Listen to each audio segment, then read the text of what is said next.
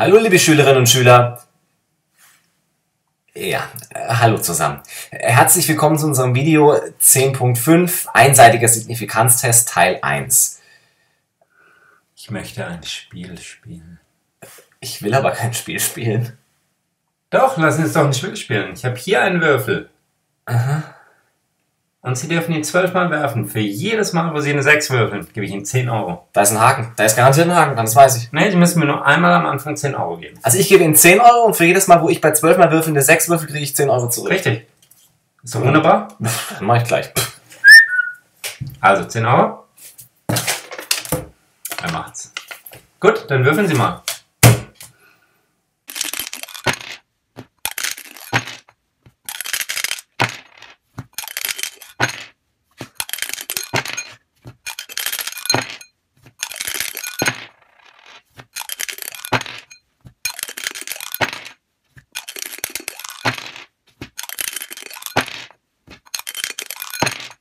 Ja, nee, also ganz ehrlich, bei einer Wahrscheinlichkeit von einem Sechstel, da kommt nach meinem Verständnis schon zweimal eine 6 raus. Ich will mein Geld zurück. Nee, der Würfel ist ganz normal, der ist nicht gezinkt. Es kann schon mal sein, wenn man zwölfmal wirft, dass auch kein einziges Mal eine 6 kommt. Okay, einverstanden, es mag ja sein, aber ich glaube Ihnen trotzdem nicht. Also machen wir einen Test, ob Ihr Würfel wirklich nicht gezinkt ist. Okay, von mir aus können wir gerne einen Test machen, aber dann schreiben wir es übersichtlich auf. Okay? Wir testen also, liefert mein Würfel zu wenig Sechsen. Gut. Sie behaupten, dass Ihr Würfel genug Sechsen liefert. Also Sie sagen, die Wahrscheinlichkeit, eine 6 zu würfeln, ist ein Sechstel. Genau. Ich sage, die Wahrscheinlichkeit, eine 6 zu würfeln, ist auf jeden Fall kleiner als ein Sechstel. Sonst hätte ich eine 6 gewürfelt. Also Entschuldigung. Okay, dann machen wir aber welchen größeren Test, sagen Sie, Sie müssen 120 Mal würfeln. Okay, und wir sagen, die Zufallsvariable zählt die Anzahl der Sechsen, die ich werfe. 120 Mal werfen. Bitte schön. Okay.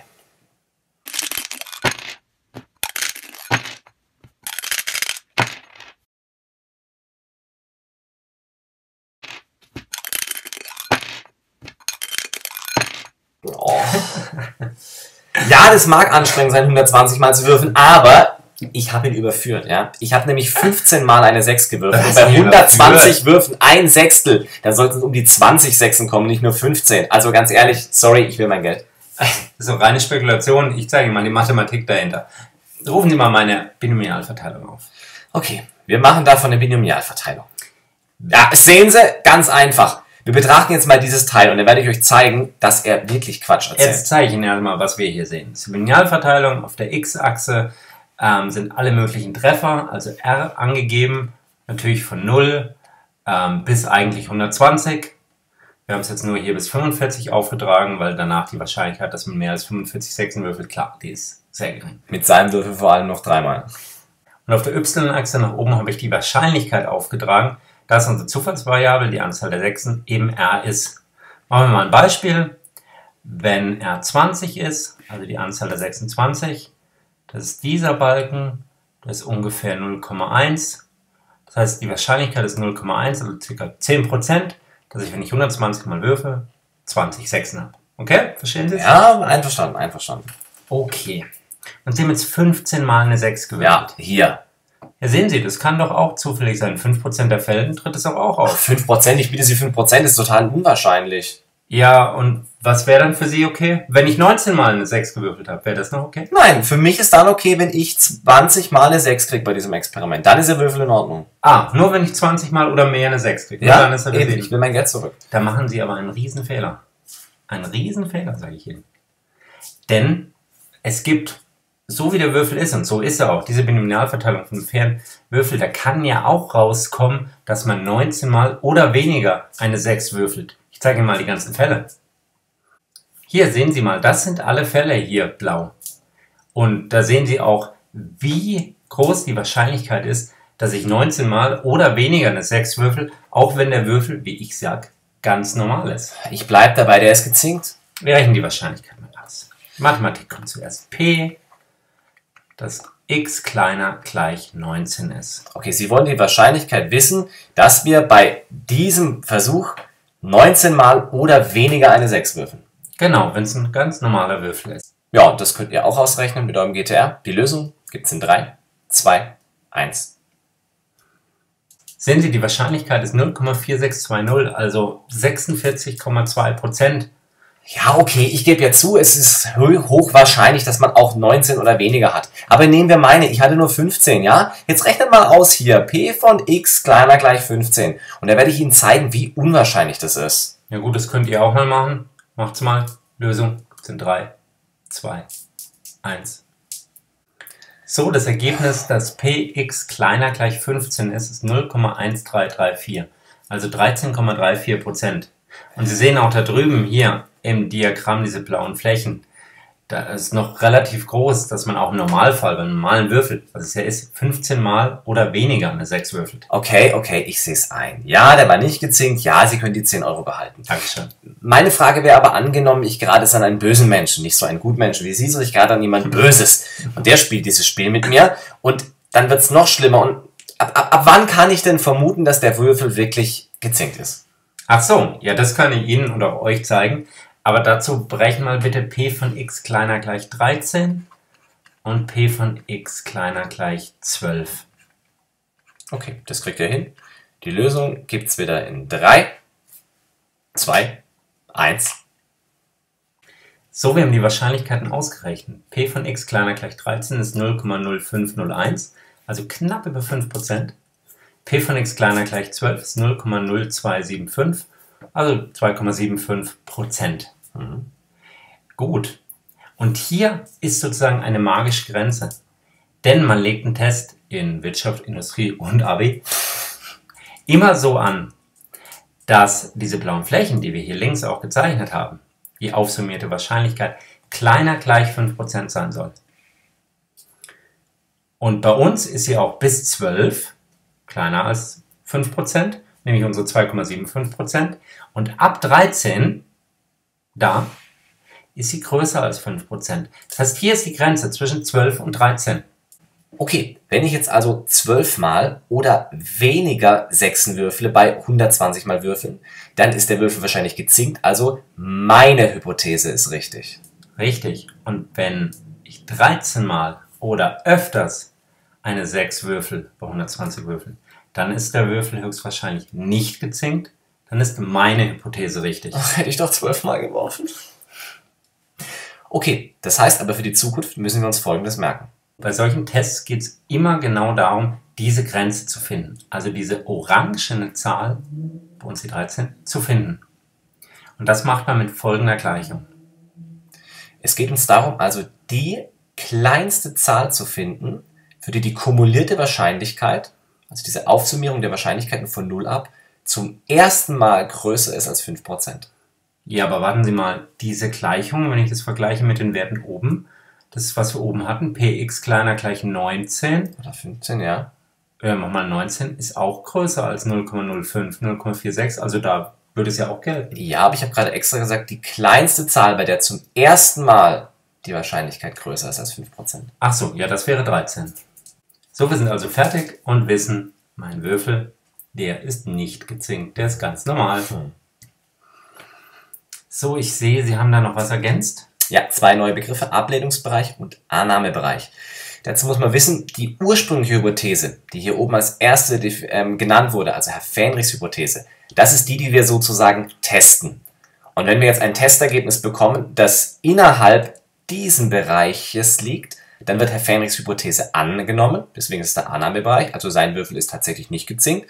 Wenn wir ein Testergebnis bekommen hätten, was im blauen Bereich wäre, dann hätten wir seine Hypothese abgelehnt. Dann wäre sein Würfel tatsächlich gezinkt gewesen. So, diese ganze Einführung sollte euch jetzt ins Heft übernehmen. Da es natürlich ein bisschen schwierig ist, diese Binomialverteilung jetzt hier abzuzeichnen, gibt es dieses Bild der Binomialverteilung auf der Homepage zum Runterladen. Ladet es euch runter, druckt es euch aus, schneidet es aus und klebt es auch ins Heft. Macht es bitte, denn gerade diese Einführung ist jetzt wirklich wichtig, damit man diesen einseitigen Signifikanztest einmal richtig gut versteht. Wir kommen jetzt zum allgemeinen Teil.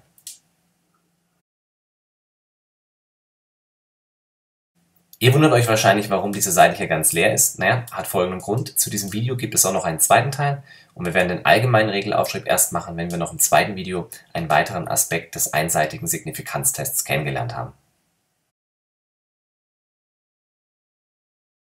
So, wir kommen nun zur folgenden Aufgabe. Nach einer früheren Umfrage befürworten 70% die Sommerzeit. Die Bürgergruppe pro Kind behauptet mittlerweile aber, dass der Anteil der Befürworter geringer sei und es deshalb besser sei, die Sommerzeit abzuschaffen. Die denken also, die Wahrscheinlichkeit ist kleiner als 70 Prozent. Pro Kind will deswegen ein Test mit der Nullhypothese H0 p gleich 0,7 durchführen, mit dem Stichprobenumfang n gleich 100 und dem Signifikanzniveau 5%. Bestimme den Annahme- und den Ablehnungsbereich für H0. Gut, zunächst mal müssen wir uns jedes Mal, bevor wir so einen Signifikanztest durchführen, ein paar allgemeine Sachen aufschreiben. Und zwar folgende. Zum einen die Nullhypothese nochmal aufschreiben. H0.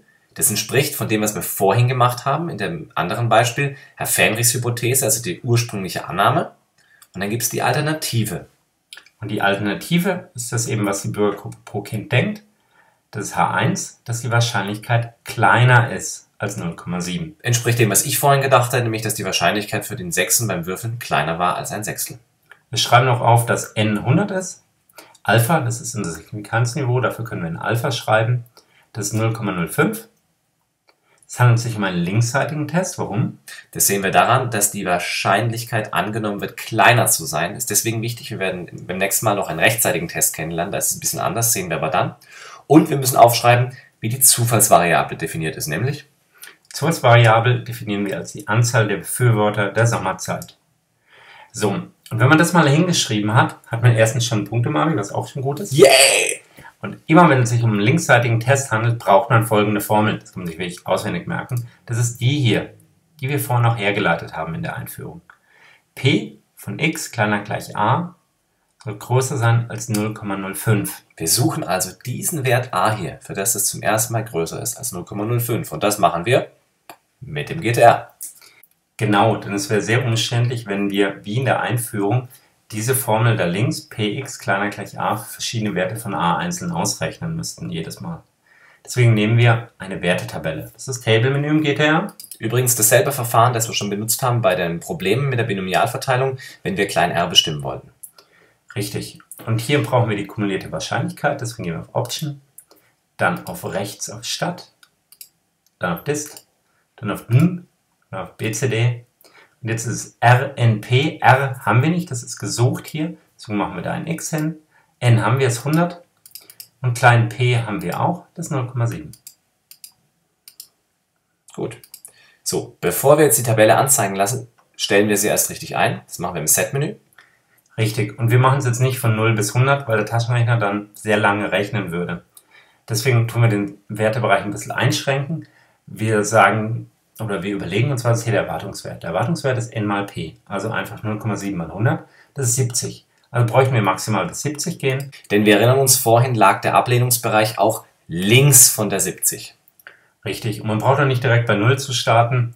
Äh, man sagt so generell der halbe Erwartungswert weg vom Erwartungswert, also 35 weg von der 70, also wir starten bei 35. Gut, schauen wir uns die Tabelle an. Seht, es dauert eine Weile. So, wir sehen, es sind sehr kleine Zahlen. Das sieht noch nicht nach größer als 5% aus. Wir können uns also durchaus etwas schneller in die Richtung bewegen. So, jetzt geht's aber los. Bei 61 sind es 3,39%. Bei 62 sind es 5,3%. Das heißt, da ist die Grenze, beziehungsweise die Grenze ist genau zwischen 61 und 62.